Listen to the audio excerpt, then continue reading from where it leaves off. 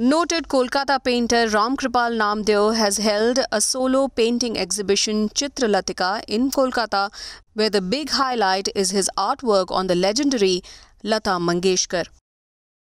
Images from Lata Mangeshkar's musical as well as personal moments have been captured on canvas by Namdeo.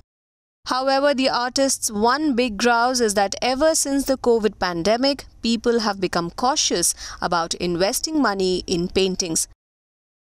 But he says this does not bother him much.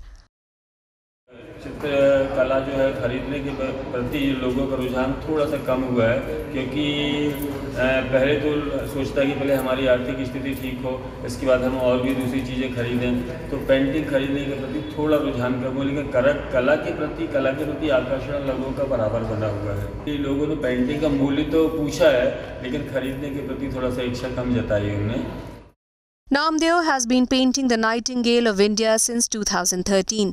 He even had the privilege of meeting the singer in 2014 and got her autograph on a painting which won him an entry in the Limca Book of Records. Many of his paintings are collages of very small or tiny faces of the legendary singer, which together forms a big single face of Lata. One of the artworks, which features 1436 faces of the singer, some politicians and other famous people has been included in the Asia Book of Records and the India Book of Records in 2019.